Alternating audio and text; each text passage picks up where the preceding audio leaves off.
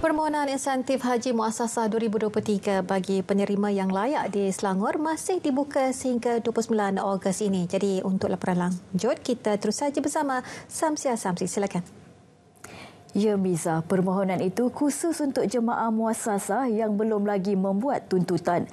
Kerajaan negeri melalui Menteri Besar Selangor Incorporated MBI sebelum ini telah menawarkan insentif berkenaan kepada 3,000 jemaah haji Selangor.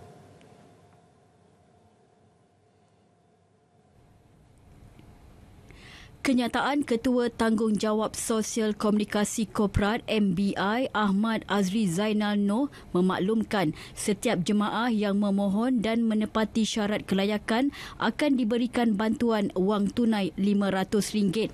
Kaunter tuntutan dibuka hanya setiap Isnin dan Selasa di bangunan Darul Ehsan bermula 10 pagi hingga 1 tengah hari.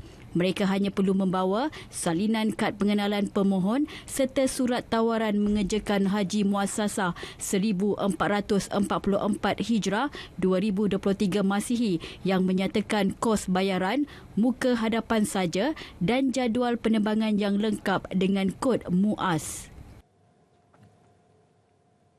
Perbadanan Kemajuan Pertanian Selangor PKPS meneruskan program jualan Ehsan Rahmah di seluruh negeri ini bagi membantu kumpulan sasar mendapatkan barangan keperluan asas pada harga murah.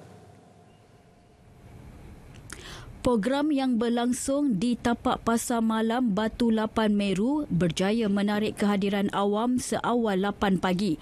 Rata-ratanya mengambil peluang hujung minggu untuk mendapatkan barangan keperluan masing-masing dengan mengharapkan program diteruskan untuk jangka panjang. Perlu diteruskan. Apa tu? Ha? Pasal kita orang kampung banyak senang kan. Dapat kemudahan ini alhamdulillah lah. Kalau macam ni selalu lagi baik. Jimat belanja. Bolehlah kita makan sedap-sedap sikit. Yalah, senanglah untuk orang kampung kan, kesian kan.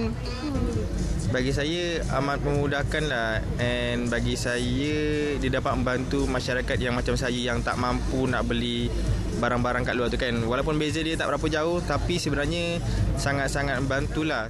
Saya rasa ini sangat membantu inisiatif yang baik dan perlu diteruskan uh, dan ditambah baik lagi. Apa yang perlu ditambah baik? Mungkin kita boleh uh, kita boleh offer lagi uh, produk-produk Antara barangan asas yang dijual termasuk ayam, telur, beras dan minyak masak 5 kilogram. Mempertaruhkan lagu Sang Dewi membawa tuah kepada penyanyi cilik Nur Farina Farha untuk muncul juara pertandingan akhir Bintang Kecil 2023 peringkat negeri. Kemenangan itu membolehkannya mewakili Selangor ke pertandingan debaran Bintang Kecil 2023 peringkat Semenanjung.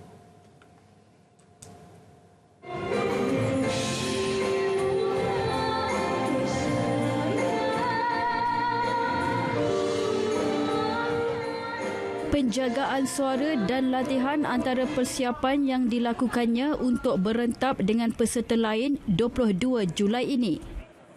Persiapan saya, saya akan macam biasalah sebagai penyanyi kena jaga suara, jaga makan, segalanya kena jaga. Ah, macam itulah itu persiapan saya. Kita dah dapat uh, wakil daripada Negeri Selangor lah untuk dibawa ke debaran uh, bintang kecil peringkat Semenanjung.